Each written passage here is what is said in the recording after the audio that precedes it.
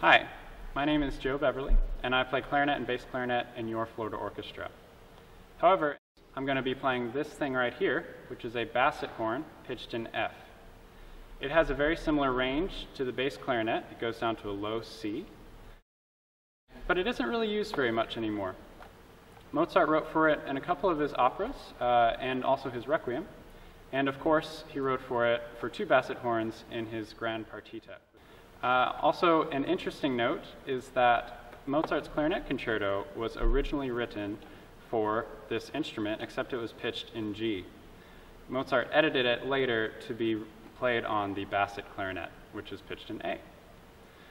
Uh, we are very grateful to have this instrument. They're very rare and hard to get a hold of, but the University of Michigan has very kindly uh, let us use these for our concert coming up.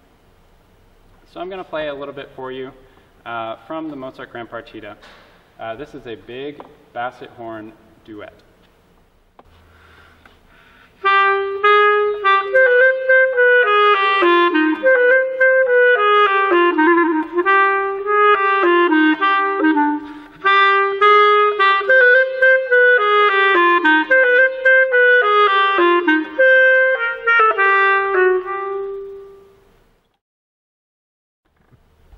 So the basset horn is pitched in F, but it goes all the way down to a low written C and has the same range of an extended clarinet.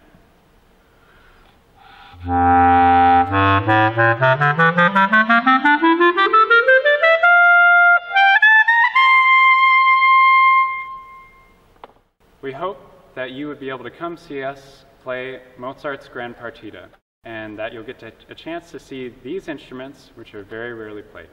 Thank you.